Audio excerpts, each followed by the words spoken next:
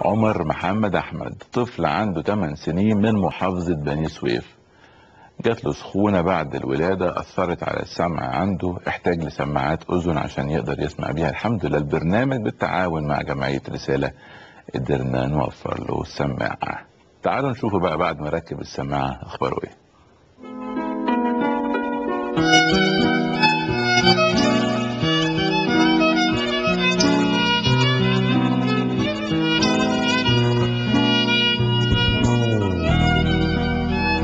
حصلت له دور سخونة كان عنده حوالي سنة أو 11 شهر.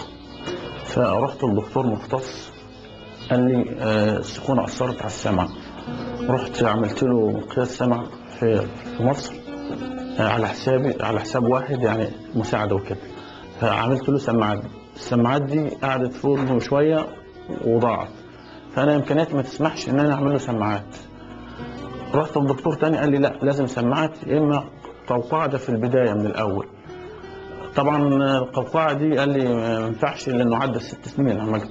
بس ففي واحد أولاد على أولاد الخير دلونا على برنامج واحد من الناس كلمت واحد من الناس ودونه لجمعية رسالة عشان أعمل له مقياس سمع ويسلمونا السماعات بصراحة يشكروا اللي عملوا حاجة زي كده واداها له.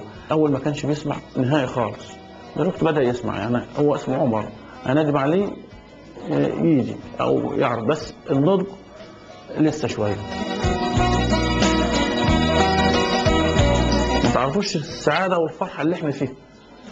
طبعا العيل ما بيسمعش. فلما يسمع حتى لو اتلفت من غير ما يتكلم وإن شاء الله بيطمنونا ويقول هيتكلم.